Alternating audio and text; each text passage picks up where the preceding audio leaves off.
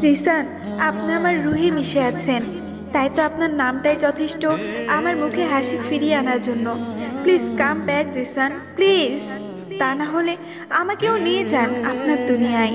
আমি যে আজও আপনাদের মগ্ন হতে চাই। জীবনে কিছু কিছু প্রশ্ন থাকে যার উত্তর কখনো মেলে না। কিছু কিছু ভুল থাকে তা শোধরানো যায় না। আর কিছু কিছু কষ্ট থাকে, যা কাউকে বলা যায় না। হুমায়ুন আহমেদ।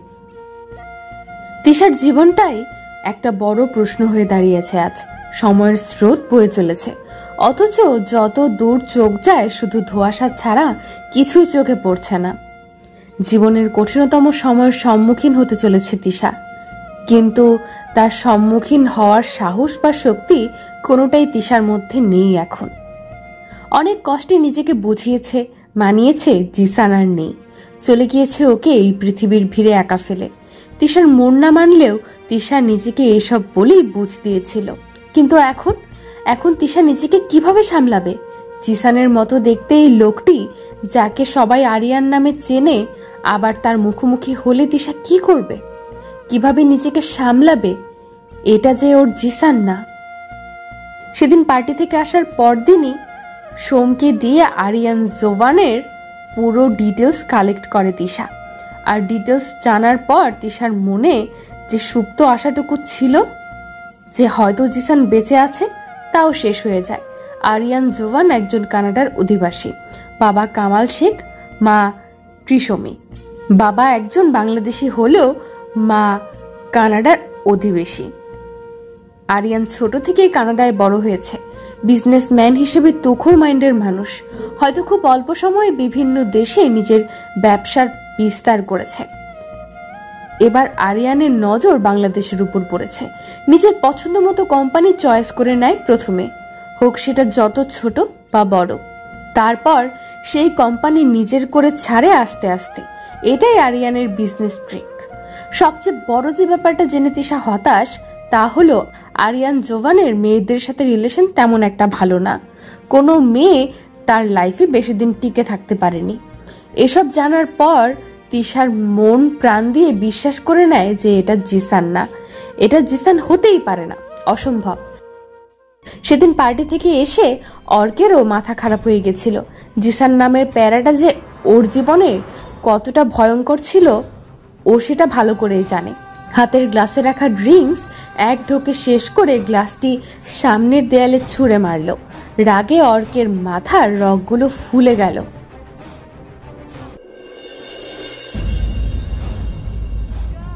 কি করে সম্ভব এটা? জিসান মরেও বেঁচে আসলো কীভাবে? আমাকে সত্যটা জানতেই হবে, কে এই আরিয়ান? আমার প্ল্যান আমি কিছুতেই নষ্ট হতে দেব না এবার। কিছুতেই না।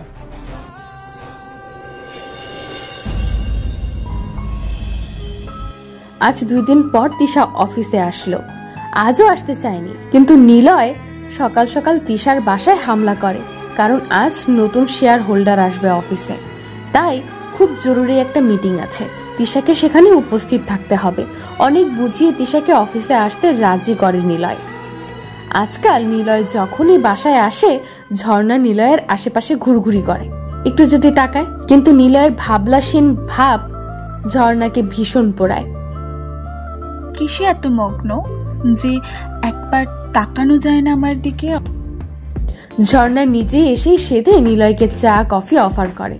নিলয় একবার ঝর্ণার দিকে তাকিয়ে মিষ্টি একটা হাসি দিয়ে Thanks, but I do not need anything নিলয়ের এইটুকু হাসিতেই ঝর্ণার গার্ডেন ফুলে ফুলে যেন ভরে গেল। কি সুন্দর এই হাসি একদম বুকে গিয়ে লাগে।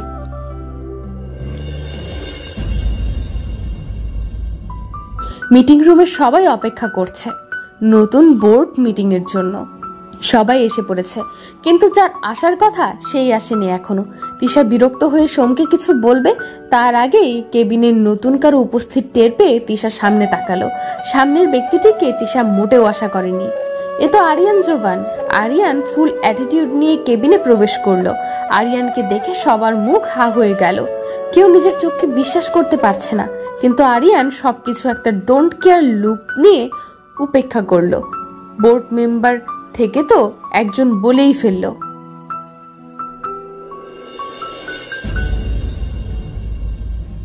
মিস্টার সিজান, আপনি বেঁচে আছেন?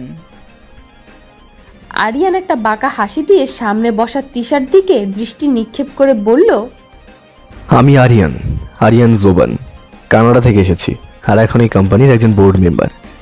ও আরও একটা ইন্টারেস্টিং ব্যাপার ঘটেছে এই অফিসে এসে। আজই আমি জানতে পারলাম আমি একা এই চেহারার মালিক নয় আমারই ডুপ্লিকেট আরও একজনই শহরে ছিল। আফসোস তাকে চোখে দেখতে পারলাম না। আমি মন থেকে দুঃখিত মিস্টার জিসান আহমেদের জন্য। সবাই কিছুটা অবাক হলো। এমনও কি হয় বাস্তবে? এসব তো নাটক সিনেমায় দেখা যায় বা গল্পে শোনা যায়। আরিয়ানের কারও কথা শোনার বা জানার কোনো ইন্টারেস্ট নেই। তাই নিজের দৃষ্টি তিশার দিকে স্থির করেই আবার বলল miss Tisha Zisan group of ইন্ডাস্ট্রির এমডি রাইট? তিশা শান্ত চোখে তাকালো আরিয়ানের দিকে তারপর মাথা নেড়ে হ্যাঁ বলল ওকে আমি এই অফিসে আমার একটা নিজস্ব কেবিন চাই। নিশ্চয়ই এতে আপনার কোনো আপত্তি হবে না। তাছাড়া কোম্পানির ভারী শেয়ার আমার হাতে।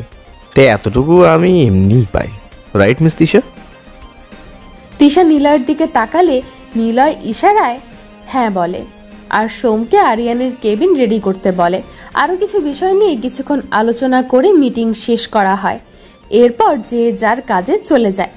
ফাঁকা কেবিনে টেবিলের এক পাশে বসে আছে তিশা, আরেক পাশে আরিয়ান।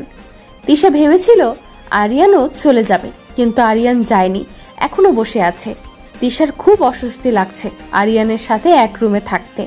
তাই নিজেই চেয়ার থেকে উঠে চলে যেতে নিলে আচমকা আরিয়ান সামনে এসে দাঁড়ায়। হঠাৎ আরিয়ানের এভাবে সামনে আসায় তিশা কিছুটা হকচকিয়ে যায়।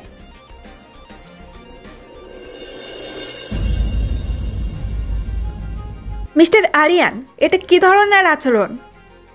আচ্ছা খারাপ বুঝি। ওকে বাট ওটা নিয়ে পরে ডিসকাশন করব। আগে আমার প্রশ্নের উত্তর দিন মিস তিশা। পথ ছাড়ুন আর আমি আপনার কোনো প্রশ্নের উত্তর দিতে বাধ্য নয় অবভিয়াসলি আপনি বাধ্য। আপনার কোম্পানির ইনভেস্টর আমি। জানার অবশ্যই রাইট আছে আমার। তিশা একটু বিরক্ত হয়ে ওকে ফাইন বলুন কি জানতে চান?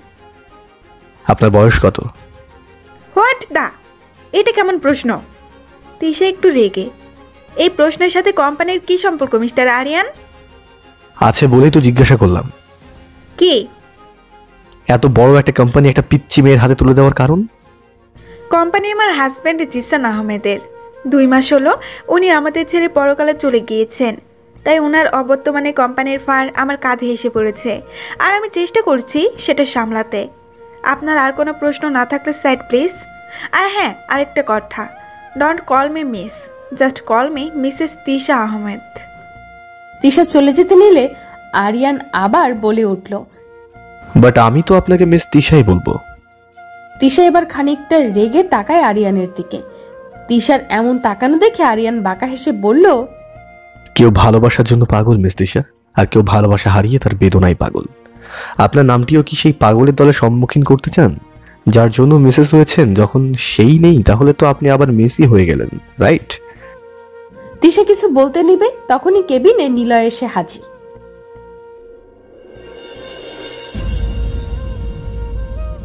মিস্টার আরিয়ান আপনার কেবিন রেডি। সোম আপনাকে দেখিয়ে দিবে। আই হোপ আপনার পছন্দ হবে। আরিয়ান হেসে মাথা নাড়ালো। ওকে। তিশাও রেগে সেখান থেকে চলে গেল। মেজাজ প্রচুর গরম ওর এই লোকটির সামনে এমনি থাকা আমার জন্য কতটা কষ্টকর তাই লোকটি কখনো বুঝতে পারবে না। না চাওয়ার সত্ত্বেও বারবার আমার চোখ তার উপরে পড়ে। আর এখন তো এই অফিসেই থাকবে। সারা দিন আমার চোখের সামনে থেকে আমার বুকের ব্যথাটা আরও বাড়াবে। তার উপর এই লোকের অদ্ভুত কথাবার্তা। আর তার শান্ত দৃষ্টির চাহনি আমাকে একদিন পাগল করে দেবে। কি মতলবে এই কোম্পানিতে ইভেন্ট করেছে আল্লাহই জানে।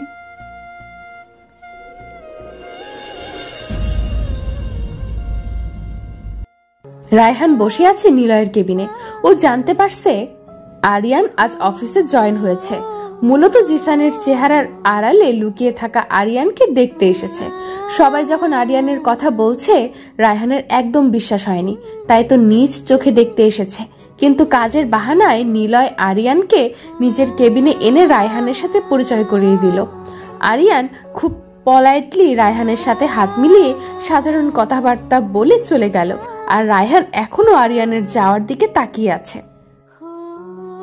কি আশ্চর্য। এটা কই অ্যাক্সিডেন্ট নাকি অন্য কিছু? জিসান চলে যাওয়ার পর জিসানের মতো দেখতেই একই ব্যক্তি এখানে আসার কারণ কি? এমনি কত কষ্টেই তিশাকে সামলিয়েছি। এখন কি হবে? তিশা আবার না ডিপ্রেশনে চলে যায়। আমার এখন তিশাকে নিয়ে ভয় হচ্ছে। এদিকে অর্ক, আরেকদিকে আরিয়ান। কি আছে আমার বোনটার কপালে? বিধাতা কেন ওরা তো পরীক্ষা নিচ্ছ তুমি? ভার্সিটির ক্লাস শেষ করে নিশি নীলুর সাথে কথা বলতে বলতে বের হচ্ছিল। এমন সময় ঝড়ের বেগে একটি ছেলে এসে ওদের পথ আটকালো। ঘটনাটি হঠাৎ হওয়ায় নিশি কিছুটা ভয় পেয়ে গেলেও পরক্ষণে নিজেকে সামলিয়ে ফেলে। সামনে তাকিয়ে দেখে সেই দিনের সেই ছেলেটি, যার সাথে ধাক্কা খেয়ে নিশির ফোনটা পড়ে গিয়েছিল। নিশি কিছুটা বিরক্ত হয়ে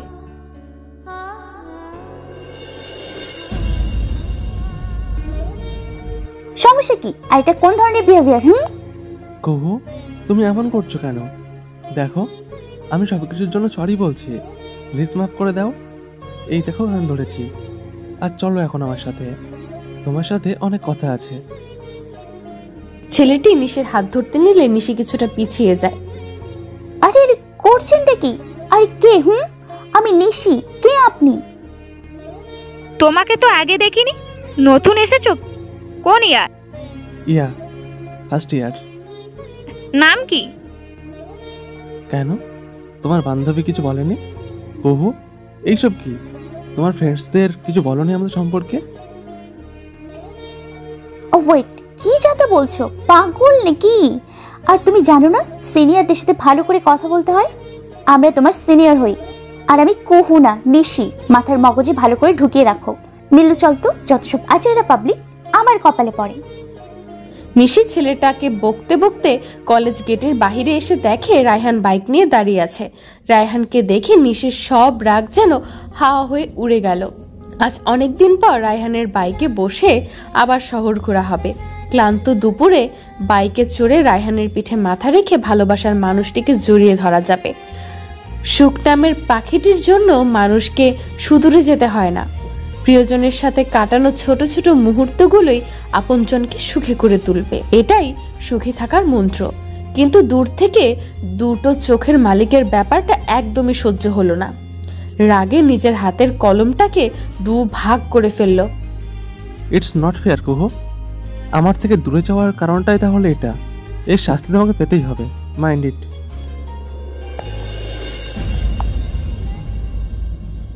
স্টোর রুমে ধুলাবালিতে ফাইল খুঁজতে গিয়ে বিতৃষ্ণ হয়ে পড়েছে দিশা এত ফাইলের মাঝে ওর কাজের ফাইলটি কি আজও খুঁজে পাবে কিনা সন্দেহ। দিশা আবারও চেষ্টা করল, কিন্তু ব্যর্থ হলো। হঠাৎ স্টোর রুমে দরজা লাগাবার শব্দে দিশা আটকে উঠল। দেখতে যাবে কে এলো? তখনই পুরো রুম অন্ধকার হয়ে গেল। প্রথমে স্টোর রুমের দরজা বন্ধ হয়ে যায়, এখন আবার রুমের লাইট নিভে যাওয়ায় তিশা ভয়ে সারা শরীর মনে হয় কাঁপছে। কাপা কাপা কণ্ঠে জিজ্ঞেস করছে। কে কে কে কে কে? কে আছে এখানে? হাতে করে নিজের মোবাইলটাও আনেনি। তাহলে তো ফ্ল্যাশ লাইট অন করে দেখতে পারতো আশেপাশে কেউ আছে কিনা। অন্ধকারে তিশার দম বন্ধ হয়ে যাওয়ার উপক্রম। তবুও হাতড়িয়ে রুমের দরজা খোলার চেষ্টা করছে। হঠাৎ নিজের খুব কাছে কারও উপস্থিতির আভাস পেল তিশা। এতে তিশা আরও ভয় পেয়ে আরও চিৎকার দিতে নিলে অচেনা ব্যক্তিটি তিশার মুখ চেপে দেয়ালের সাথে আটকিয়ে ফেলে। অচেনা ব্যক্তিটি হয়তো অর্ক ভেবে তিশা নিজেকে ছুটাতে ব্যস্ত হয়ে পড়ল। কিন্তু এত ধস্তাধস্তি করার পরও অচেনা ব্যক্তিটিকে এক চুলো সরাতে পারল না।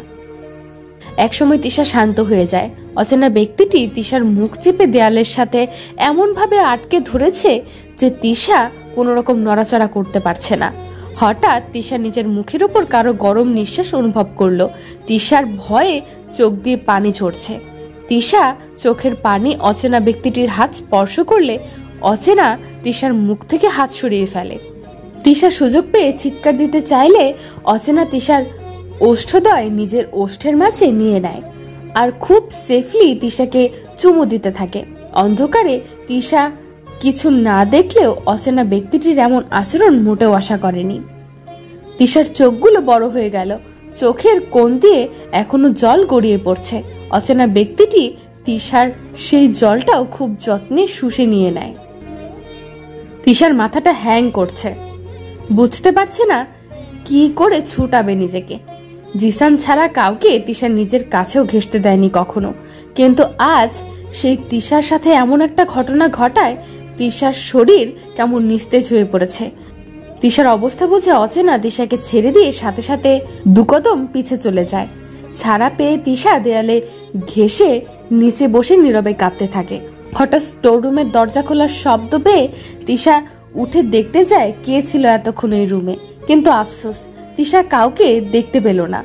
তিশা এখনও খুব শক্টের মধ্যে আছে। কে করল আমার সাথে এমন জঘন্য একটা কাজ? কে? হঠাৎ তিশার খেয়াল হলো অচেনা ব্যক্তিটি কিছু একটা দিয়েছিল ওকে। কিন্তু কি? তাই স্টোর রুমে গিয়ে আবার খুঁজতে থাকে। কিন্তু কিছু না পেয়ে কাঁধে হাত দিতে নেয়, ব্যথা করছে বলে। তখনই কাঁধে একটা রুমাল পায়। রুমালটা দেখে তিশা চমকে যায়। আরে, এটাই মনে হয়। কিন্তু এখানে কিছু লেখাও আছে। এরপর থেকে কোথাও একা যেতে দশ বার ভাববে। না ভাবলে সমস্যা নেই। আর যা হলো তা আবারও হবে। তবে এবারের থেকে আরও বেশি। তাই মনে থাকে জানো আমি এক কথা আবার বারবার বলি না। তোমার ভালোর জন্যই বলছি। প্লিজ শোনা কথাগুলো বোঝার চেষ্টা করো। একা একা কোথাও যেও না। তিশা লেখাটা পড়ে হতবম্ব হয়ে গেল। কে হতে পারে? এমন ভাবে একমাত্র জিসানি আমাকে বলে। আর তার কথায় যেমন রাগ থাকে, তেমন ভালোবাসা দুটোই থাকে। এই লেখাটাও এমন। তাহলে কি জিসান? না, এটা কীভাবে সম্ভব? চোখে জল আসলেও মুখে কেন জানি একটা তৃপ্তির হাসি ফুটে উঠেছে তিশার। জিসান আপনি আমার রুহে মিশে আছেন। তাই তো আপনার নামটাই যথেষ্ট আমার মুখে হাসি ফিরিয়ে আনার জন্য। Please come back Zisan please. তা না হলে আমাকেও নিয়ে যান আপনার দুনিয়ায়। আমি যে আজও আপনাতে মগ্ন হতে চাই।